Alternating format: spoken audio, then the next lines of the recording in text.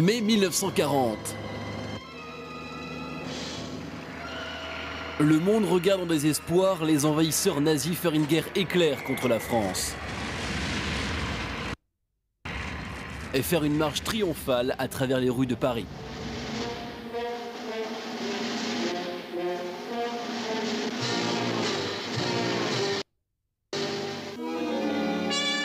Mais derrière les larmes d'un peuple vaincu, le grondement de la révolte se fait entendre. Les Français mécontents suivent l'appel du général de Gaulle et luttent pour la liberté au moyen d'une organisation clandestine dédiée à des sabotages et autres actes de défi contre l'ennemi, la résistance. Cette résistance grandit peu à peu. Des hommes et des femmes s'y sont joints sans distinction de convictions politiques, morales ou religieuses. Je suis devenu le fondateur du comité parisien de libération ainsi que de l'organisation qui gérait la résistance et la révolte nationale. Hitler visitait lui-même la France pendant l'occupation. Il s'émerveillait des grands monuments. Il se délectait de sa conquête. Même la tour Eiffel, âgée de 51 ans et de 300 mètres de haut, était occupée par les Allemands qui l'utilisaient pour envoyer des messages codés à leurs armées.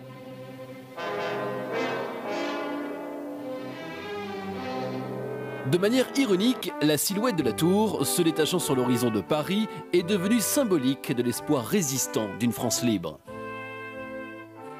Ah bah, C'était un symbole de liberté, un symbole de la France. Sous l'occupation, l'idée de savoir qu'un jour on serait libre de monter sur la tour Eiffel prédominait parmi les Français. Quand les armées alliées ont enfin libéré Paris, quelques Français libres sont montés en haut de la tour Eiffel pour célébrer en déployant le drapeau tricolore français. En bas, les citoyens crachaient juraient contre les Allemands qui s'enfuyaient. Mais liberté, égalité, fraternité exigeaient leur monte de gloire du haut de la tour Eiffel. Pour la plupart des gens, la tour Eiffel est un symbole de la France. C'est une lumière et un espoir, une poésie et une magie. Sa géométrie complexe cache les rêves des amoureux. Les Français peuvent jouir de l'honneur d'avoir créé et érigé ce monument international. En son âme se trouvent les cœurs des gens libres du monde entier. Voici l'histoire de la Tour Eiffel.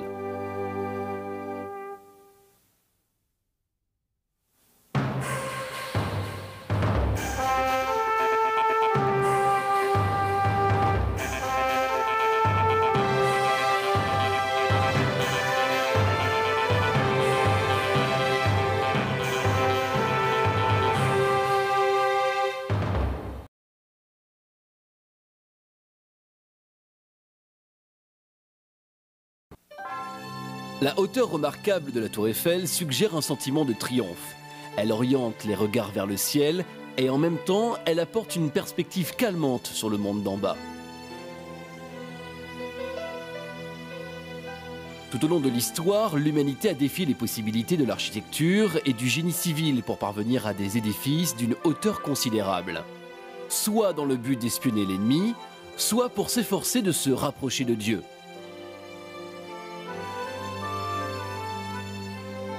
Certains cherchent à trouver une utilisation pratique des tours. Elles pourraient être utilisées pour y disposer des antennes de transmission. Elles pourraient également être un endroit convenable pour un restaurant. Mais le véritable charme des tours provient d'une notion plus profonde que celle mentionnée précédemment. Les tours représentent la célébration de la volonté. Elles parlent à nos ambitions. Elles expriment un témoignage de la joie de vivre. La tour Eiffel est la tour la plus célébrée de par le monde. Sa hauteur grandiose, son contour délicat, sa solidité éthérée. Tout cela reflète les meilleurs traits du caractère français. La tour a été construite en 1889 pour célébrer le centenaire de la Révolution française. Le 14 juillet 1789, le peuple français, dans un flot de passion révolutionnaire, s'est soulevé contre l'aristocratie française et a pris d'assaut la Bastille, prison infâme où l'on enfermait les pauvres et ceux qui n'étaient pas loyaux au régime politique.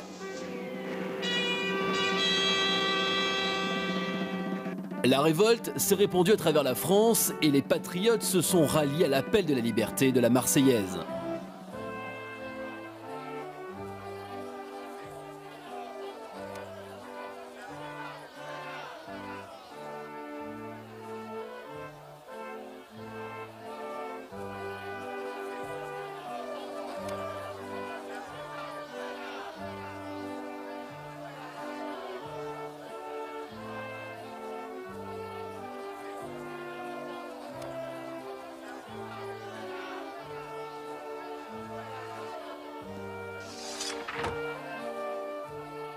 Bouleversement nationaliste s'est fait entendre à travers l'Europe et a joué le rôle de support des mouvements démocratiques modernes. Les Français avaient le droit d'être fiers des contributions positives que la Révolution avait amenées. Mais un siècle plus tard, la défaite de la France au profit de l'Allemagne a blessé la fierté française. L'idée d'organiser une exposition spectaculaire semblait offrir un moyen excellent d'évoquer les souvenirs d'un passé glorieux et d'oublier les échecs d'aujourd'hui. On était encore triste à cause de la guerre contre l'Allemagne de 1870 et l'on avait perdu deux provinces, l'Alsace et la Lorraine. Tels étaient les sentiments des Français de l'époque. Les gens étaient contents de l'exposition pour montrer leur grandeur et que le pays possédait encore d'importantes ressources. On a décidé qu'il fallait une sorte de jalon pour la célébration, un ouvrage d'art qui dominerait la masse. La bravade de l'âge industriel a suggéré l'idée d'un ouvrage de génie civil, une tour. La tour Eiffel a joué un rôle important du point de vue innovation technologique. Personne n'avait pu construire auparavant une tour de 300 mètres de haut. De nombreux essais avaient été faits en Amérique. On avait élaboré plusieurs projets sans jamais les mener à bien. On a donc organisé un concours de projets. Des architectes venant de toutes les régions de France ont soumis leurs plans détaillés. Le premier projet a été proposé par un homme du nom de Maurice Coquelin. Il était un des premiers à se joindre à l'équipe de Gustave Eiffel. Gustave Eiffel était un architecte et ingénieur d'excellente renommée en France. Il était connu pour son succès dans le domaine de la construction des ponts. Il a examiné le concept révolutionnaire de la construction à l'aide de charpentes métalliques. Son génie a attiré dans son atelier les architectes les plus doués.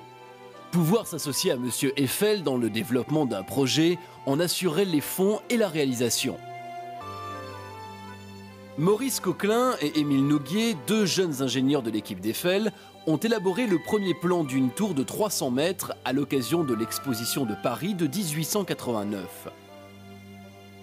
Ils ont fait les ébauches de la structure et l'architecte, Stéphane Sauvestre, y a ajouté les ornements, des éléments fleuraux en forme d'arc et des nuances sculpturales.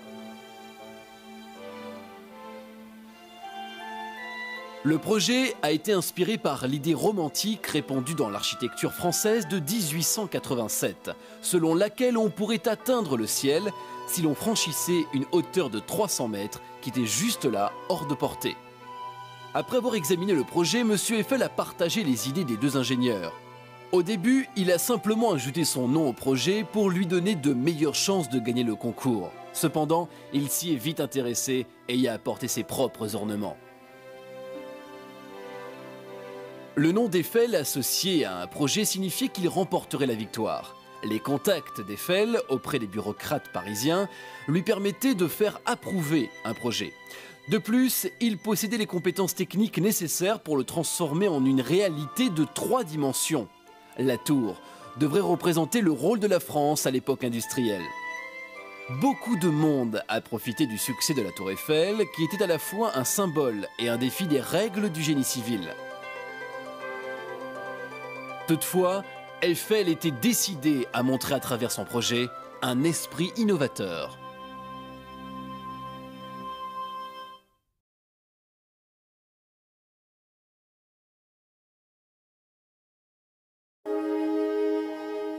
C'est de l'air et de la lumière. C'est une forme et un mouvement. Aussi forte que la détermination humaine, aussi éthérée que ses pensées. La tour Eiffel est un monument hors du commun. Sa construction reflète à la fois l'idée des éléments préfabriqués de l'époque industrielle et des théories avancées de la construction du début du XXe siècle.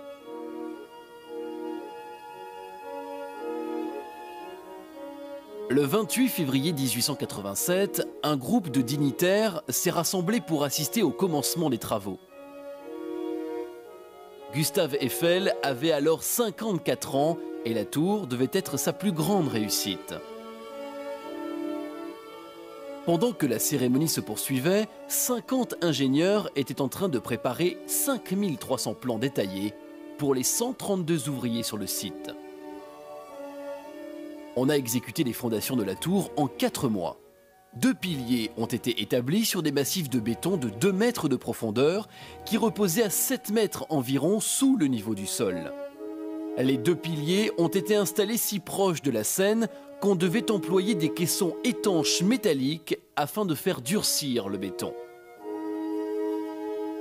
Les quatre piliers étaient entourés par un carré dont les côtés étaient de 130 mètres. Cela a permis de répartir également les 7000 tonnes de fer employées dans la construction. Sur les fondations, on a élevé des massifs en béton dans lesquels d'énormes boulons ont été enfoncés dans chacune des arêtes. Les piliers, construits comme des poutres creuses de charpente, devaient se dresser formant un angle de 60 degrés. Ils étaient faits de supports et de barres plates. Il fallait quatre de ces éléments pour assembler une poutre entière. La poutre possède la même dynamique structurale qu'une série de cubes encastrés.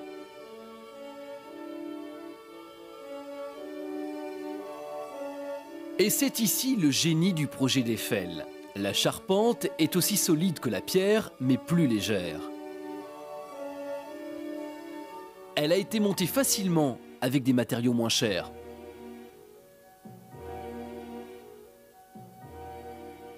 18 000 pièces métalliques et 25 000 rivets ont été employés dans la construction de la tour. Tous les éléments étaient soit des barres plates, soit des supports ou des plaques.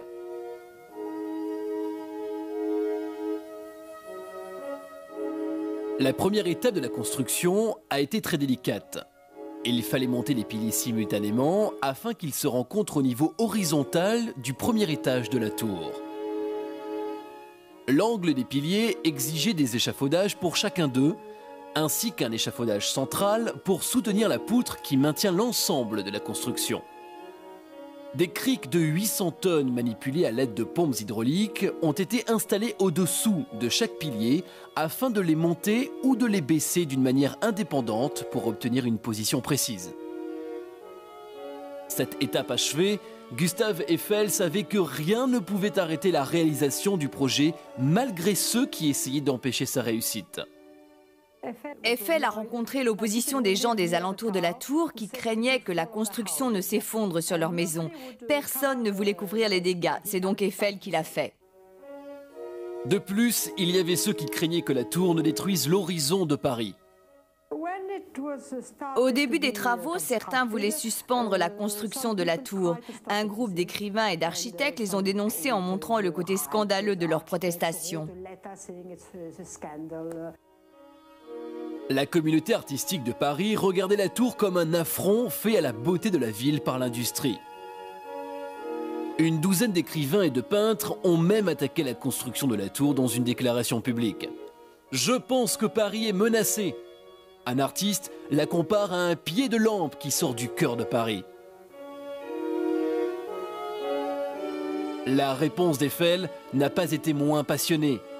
Il s'est exclamé La tour sera la construction la plus haute qu'on ait faite.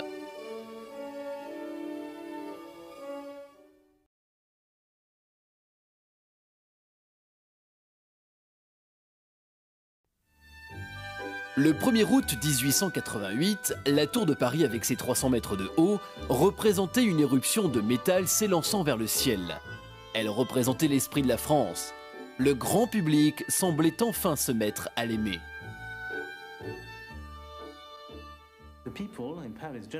En effet, les Parisiens et le grand public admiraient la tour Eiffel. Bien qu'au début, la tour n'était qu'une forme squelettique, elle représentait maintenant une œuvre majestueuse et gracieuse à la fois. La pente harmonieuse des arêtes, les ornements en contraste avec les boulons, c'était un ouvrage d'art qui s'adressait à un monde agité qui se préparait à des changements dramatiques. Les travaux progressaient à vitesse étonnante sous la direction de Gustave Eiffel. Il les menait avec la précision d'un dirigeant militaire. On l'aurait cru engagé dans une bataille héroïque. En effet, les éléments de la tour ont été préparés à l'usine d'Eiffel. Sur le site, il n'y avait que 300 ouvriers environ, tous occupés au montage. Le site ressemblait à un jeu de construction avec des pièces jetées comme ça et là. Des équipes de 4 hommes posaient les rivets pour que les travaux se maintiennent à une vitesse frénétique. Dès qu'on assemblait un chargement d'éléments, des grues de 12 tonnes en livraient davantage. Tout cela en utilisant l'espace des cages d'ascenseurs qui, plus tard, seraient installées. Le deuxième étage a été achevé un an après le début des travaux. La tour entière a été achevée en moins d'un an après cela, le 31 mars 1889. L'assemblage de cette construction, qui restera la plus haute du monde pendant les 40 ans qui suivent, a pris seulement 2 ans, 2 mois et 5 jours. Il n'y a pas eu d'accident lors des travaux dangereux qui défiaient les règles établies. Eiffel a été le premier à monter les 1710 marches de la tour jusqu'au sommet où il a déployé le drapeau français. Au bas de la tour se trouvait Paris, il semblait que l'âme de la ville passait à travers les piliers solides de la tour et se dispersait dans le ciel pour célébrer l'événement. La tour, avec ses 300 mètres de haut, était le centre d'attention lors de l'ouverture de l'exposition universelle de Paris en 1889. On l'appelait la plus grande structure du monde pour éblouir le public, avant d'être baptisée sous le nom de la Tour Eiffel.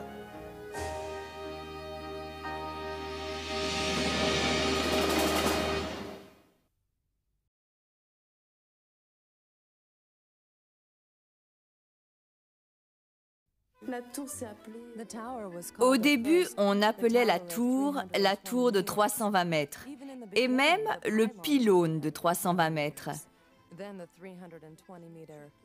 Je ne sais pas exactement quand elle est devenue la tour de Monsieur Eiffel et plus tard la tour Eiffel. À mon avis, il n'a pas pensé qu'elle deviendrait plus qu'une haute structure à grande envergure.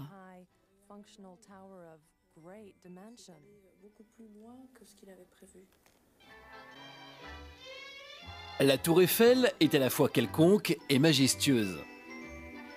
À l'époque, la tour était la construction la plus haute du monde, et Gustave Eiffel la chérissait grâce aux revenus immenses qu'elle assurait. Monsieur Eiffel a en effet financé la construction de la tour. Il a avancé la plupart des fonds nécessaires pour les travaux, mais a conclu un accord financier. Il a assuré 80% des fonds à condition de recevoir le droit d'exploiter la tour pendant une période de 20 ans. S'il n'avait pas été certain du succès de la tour, il n'aurait jamais pris ce risque. Gustave Eiffel avait son propre appartement dans la tour où il faisait des expérimentations scientifiques et accueillait des personnalités importantes. 2 millions de personnes ont visité la tour Eiffel la première année. La vente des billets lui a assuré un revenu d'un million de dollars.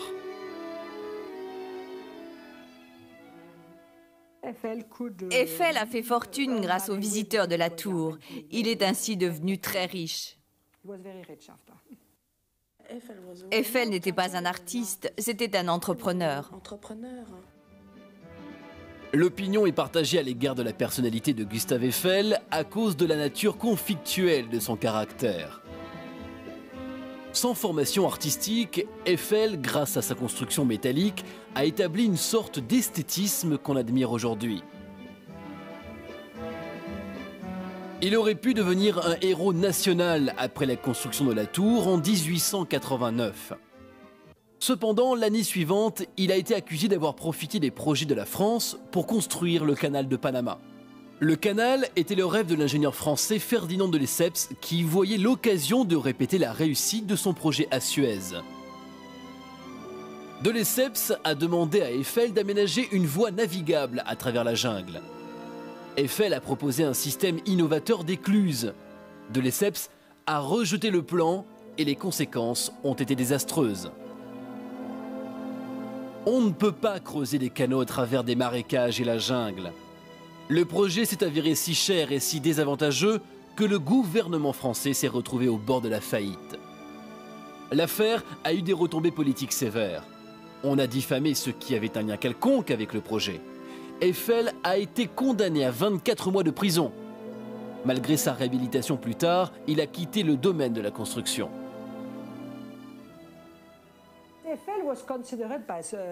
Tous les ingénieurs considéraient Eiffel comme un dieu. C'était un homme dévoué à la science. La tour a donc été sa dernière construction. À l'âge de 73 ans, Eiffel s'est consacré à d'autres études scientifiques, surtout dans le domaine de l'aérodynamique. D'autres visionnaires français, tels l'écrivain Jules Verne, ont appliqué les concepts rudimentaires du 19e siècle, comme le montre ce film, proposant un voyage sur la Lune. Eiffel s'est rendu compte que le progrès de l'aviation dépendait des recherches sur les éléments de la nature. Mais à la différence des chercheurs qui, par exemple, s'étaient lancés dans l'idée de création mécaniques étranges ou s'attachaient des ailes autour des bras pour sauter de la tour, Eiffel a créé un atelier de recherche qui fonctionne encore aujourd'hui.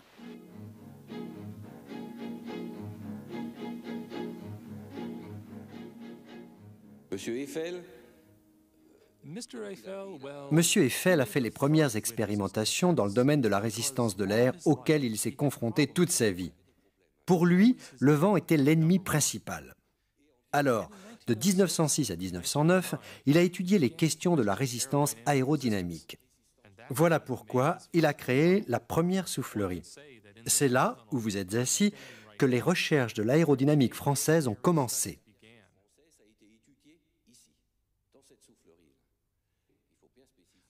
Il faut noter que cette soufflerie, ce ventilateur et ce moteur sont les originaux on les a gardés intacts tels qu'ils étaient autrefois. Quant aux appareils de mesure, on les a adaptés pour faire des travaux modernes. Monsieur Eiffel était un ingénieur hors du commun. En regardant tout ce qu'il a pu faire, on a pu remarquer qu'aujourd'hui, on a recréé des choses qu'il avait déjà faites lui-même en 1917.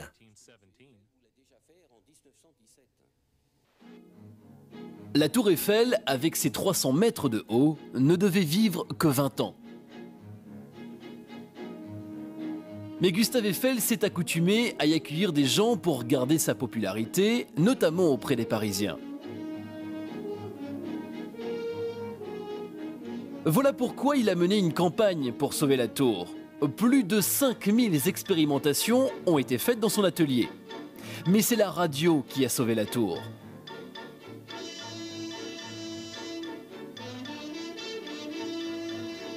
La construction métallique grandiose était devenue une antenne émettrice parfaite. De son sommet, on pouvait transmettre jusqu'en Amérique du Nord. Par conséquent, au lieu d'être démontée, la tour a obtenu un sursis grâce à la radio qui particulièrement a permis aux Français de surveiller les aléas de la guerre avec l'Allemagne. En 1914, la Première Guerre mondiale a balayé l'Europe. Le conflit était si proche de Paris que les soldats allaient au front en taxi. Mais à l'aide de la tour, les généraux français pouvaient surveiller le mouvement de l'ennemi et donner l'alerte contre les éplats.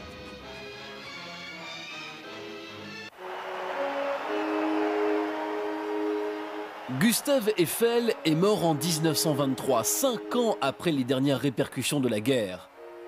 Grâce à sa créativité, la France était au premier rang des technologies innovatrices. Son interprétation architecturale et scientifique, incarnée dans sa tour, représente une sorte d'introduction aux principes du XXe siècle. Désormais, la construction sera liée à l'idée d'assembler de petits éléments.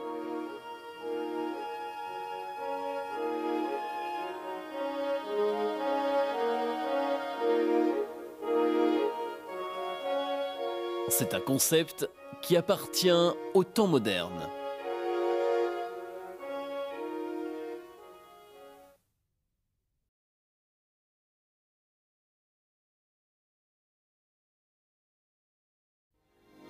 Après la dévastation de la guerre, Paris était soucieuse de retrouver un certain optimisme et de connaître de meilleurs jours. Cependant, il se dégageait un courant subtil de désespoir dans une ambiance festive. Comme si le bon temps dissimulait les problèmes que la guerre avait laissés.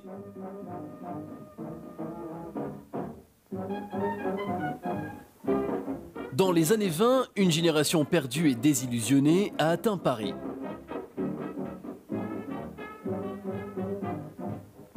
Certains Parisiens de l'après-guerre étaient des artistes et intellectuels américains cherchant un sens logique dans un monde qui semblait chaotique. F. Scott Fitzgerald et son épouse Zelda, Charlie Chaplin, des vedettes de cinéma, des peintres, des artistes, des créateurs, tous ont été attirés par une révolution de la pensée qu'on appelait l'existentialisme. Ce que nous sommes, est-ce la somme de notre existence? Le temps et la poésie ne sont-ils que des fantaisies absurdes Le thème sombre de l'aliénation est apparu dans l'art. De façon ironique, la tour proposait un lien visuel et symbolique vers des temps plus tournés vers la légèreté et le calme. De plus, Gustave Eiffel avait employé un métal lourd et solide pour créer une beauté sans lourdeur. C'était une idée rassurante. La tour Eiffel n'est pas seulement faite de fer, mais aussi d'air circulant dans un treillis de métal. Certains visiteurs avaient l'impression de n'être nulle part. Ce sentiment suggère que la structure n'est pas le matériel essentiel de la tour, mais que l'on doit aussi considérer l'importance du vide intérieur.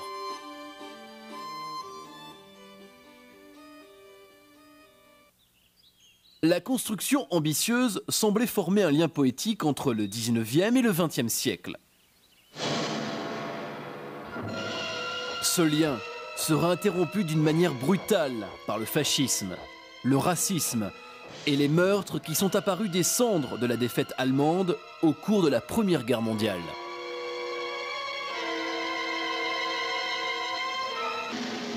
En mai 1940, les nazis ont pris d'assaut Paris et la tour Eiffel. Cependant, les troupes allemandes ont eu du mal à utiliser le monument puisque les Français avaient détruit les ascenseurs. Le sabotage a empêché Hitler de jouir de sa conquête.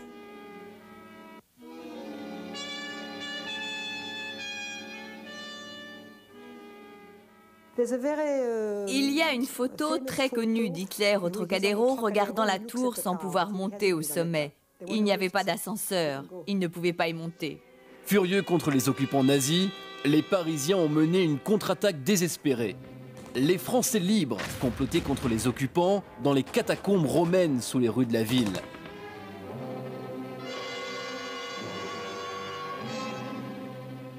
Les tunnels qui cachaient le reste des Français oubliés et vaincus étaient maintenant l'abri de la résistance. Vous savez qu'il y a des passages souterrains sous la capitale française. Par conséquent, les catacombes ont joué un rôle important pour la résistance. Elles permettaient de se déplacer sans être vues pour mener la lutte contre l'occupation de Paris. Donc, on a fait dérailler des trains qui se dirigeaient vers le front atlantique. J'ai pris part au sabotage des rails autour de Paris.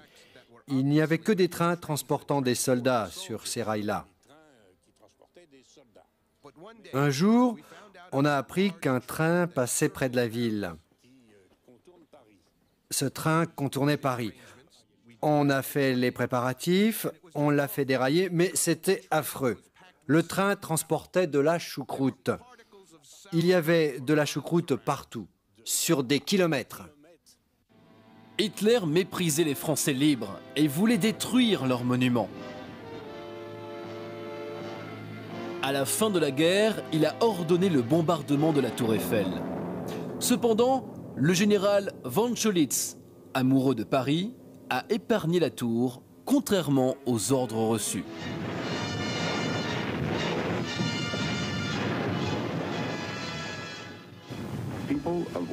Peuple de l'Europe de l'Ouest, des troupes alliées expéditionnaires ont atterri sur la côte française ce matin. L'heure de votre libération s'approche.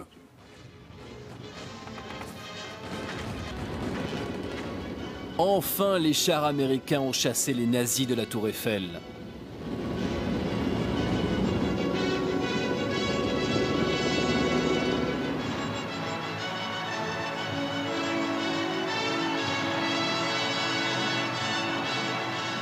Mais quand Paris a été libéré, le gouvernement français était en pleine confusion.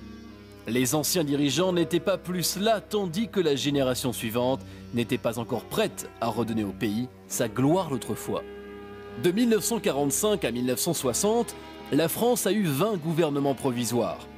La confusion politique a persisté jusqu'au moment où l'on a persuadé le général de Gaulle à aider le pays à sortir des calamités de l'après-guerre. Un homme d'une telle force et d'un caractère exceptionnel représentait la seule possibilité de sauver la France. De Gaulle a su rallier le pays abattu et lui redonner le moral. Cependant, c'était la tour Eiffel, cette cage gigantesque, qui a toujours sauvegardé son esprit. Mais la tour Eiffel, afin de survivre, exigeait de nouvelles obligations pour sa bonne continuation de même que la France avait besoin d'une nouvelle optique pour la seconde moitié du XXe siècle.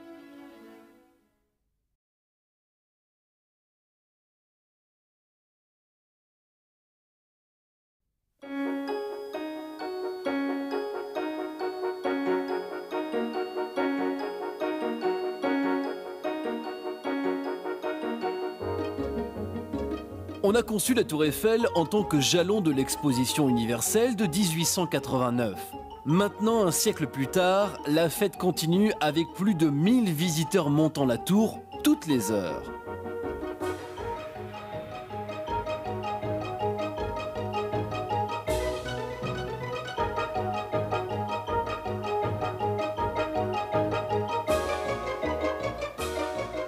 Ascenseurs, installés dans les quatre piliers orientés à 60 degrés, transportent les touristes jusqu'au sommet. Le cœur des machineries se trouve dans les catacombes.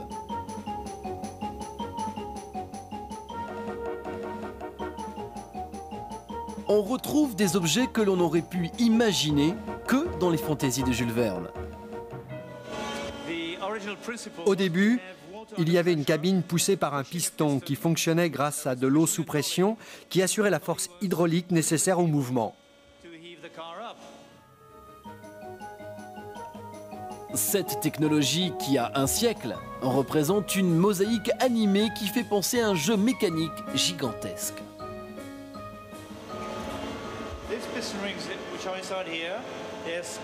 Ce segment mis en ruban de coton et celui qu'on presse sont graissés avec du gras de mouton et de la graisse de rognon. Vous voyez très large, très belle.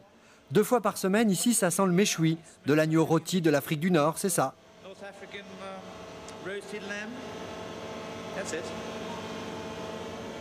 La vieille technologie marche bien.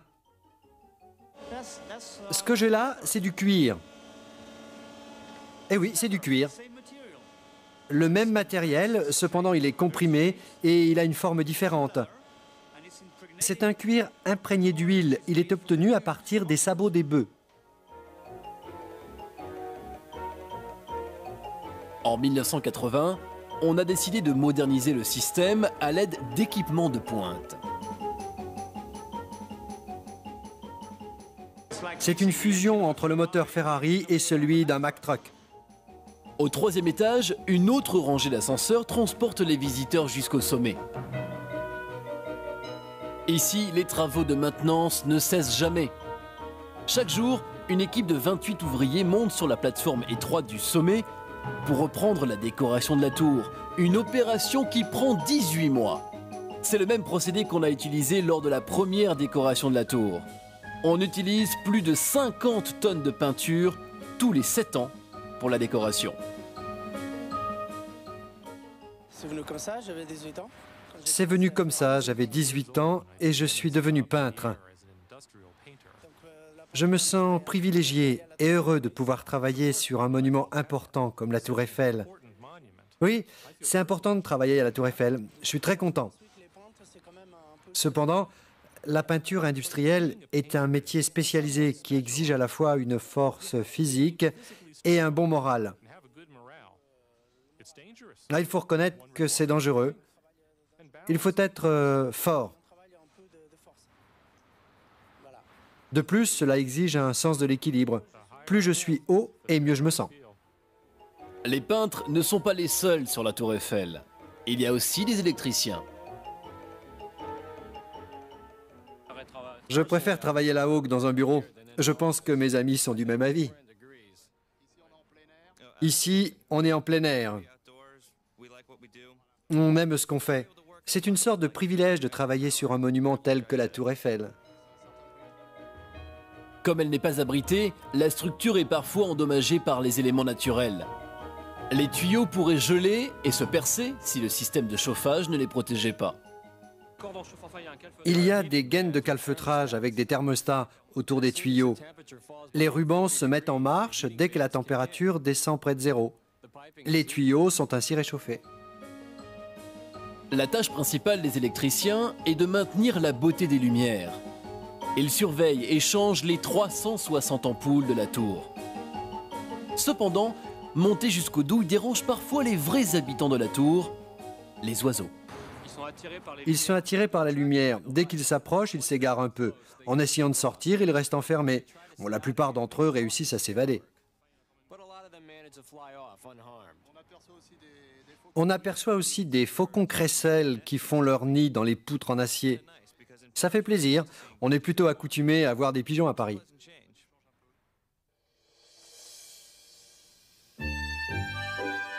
En début de soirée, les derniers rayons de soleil de couleur or et rose tombent sur les toits de Paris, sur les musées, sur les monuments et sur les couples qui se retrouvent.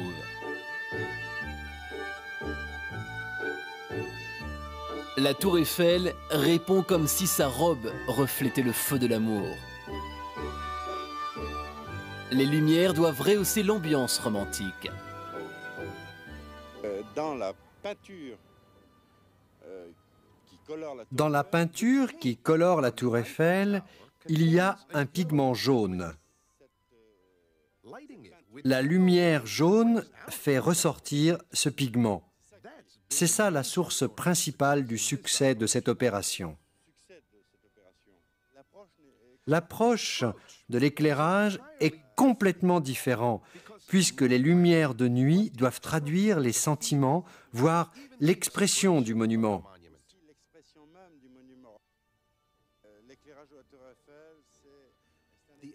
L'éclairage de la tour Eiffel essaie de valoriser l'architecture de cette attraction parisienne. La nuit, la tour Eiffel, c'est l'étoile de Paris.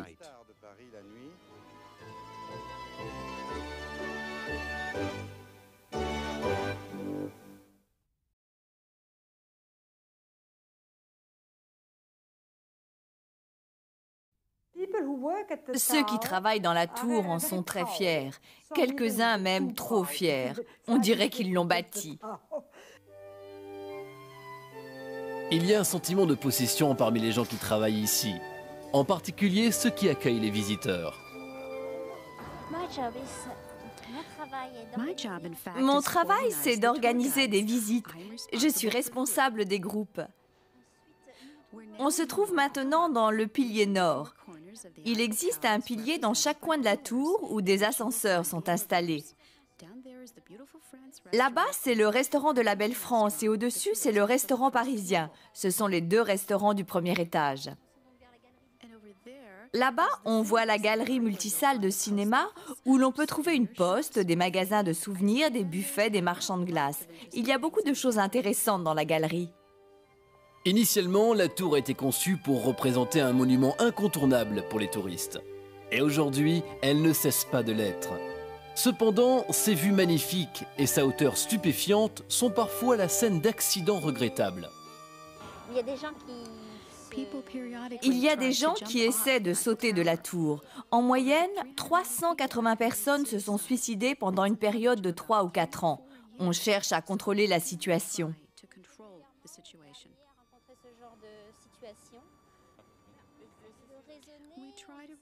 On essaie de les raisonner. On cherche à comprendre les motifs. On en parle avec eux le plus longtemps possible avant que les gardes n'arrivent. Dès lors, c'est la responsabilité des pompiers. Les tours vous offrent le plus souvent la possibilité de vous retrouver en présence de gens à la recherche de rencontres sympathiques ou même romantiques. J'ai vu beaucoup de couples se promener se tenant par la main. Ils y viennent pour célébrer un événement ou un anniversaire.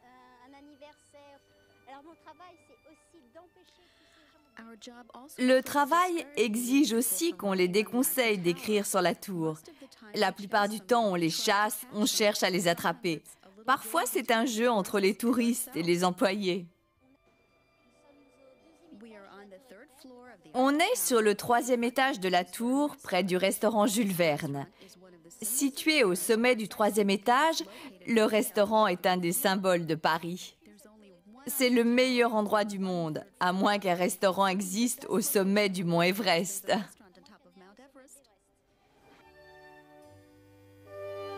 Depuis longtemps, les cérémonies et les fêtes gastronomiques sont traditionnelles à la Tour Eiffel.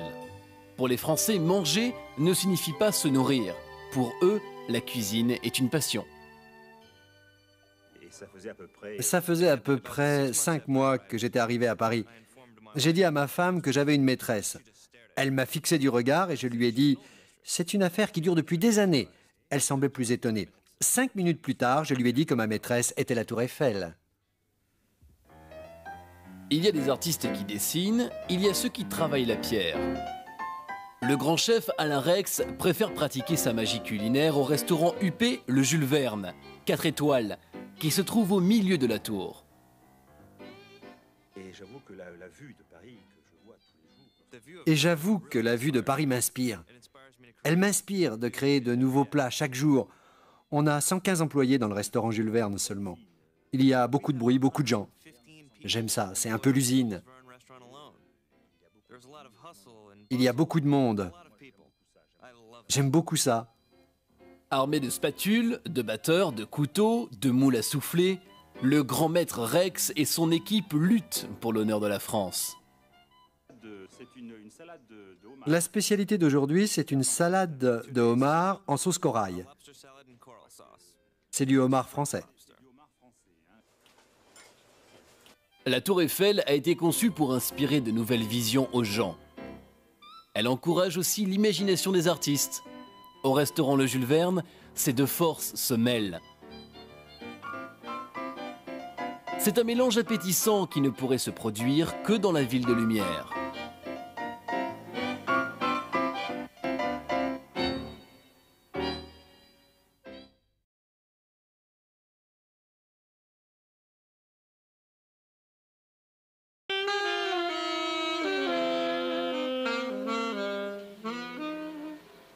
On appelle souvent Paris la ville de lumière.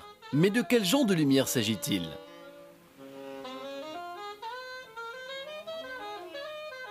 S'agit-il de la lumière sur la culture française Ou bien de la lumière du ciel éclairant les monuments et berçant les amoureux dans une brume colorée de rose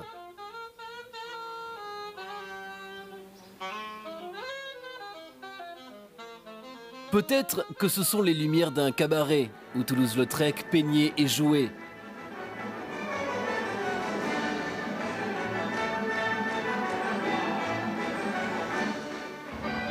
À moins que ce ne soit l'éclat d'un manège qui reflète les yeux des jeunes amoureux.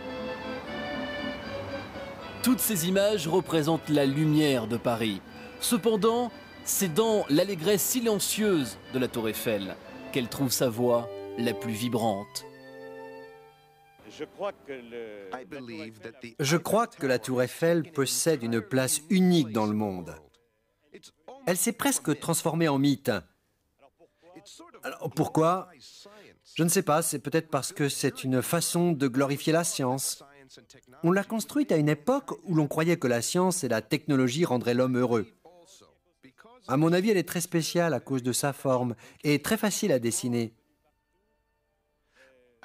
Je pense que c'est un objet inutile et comme tous les objets inutiles, d'une valeur thérapeutique. La tour Eiffel reste un monument irrésistible, symbole de la puissance française.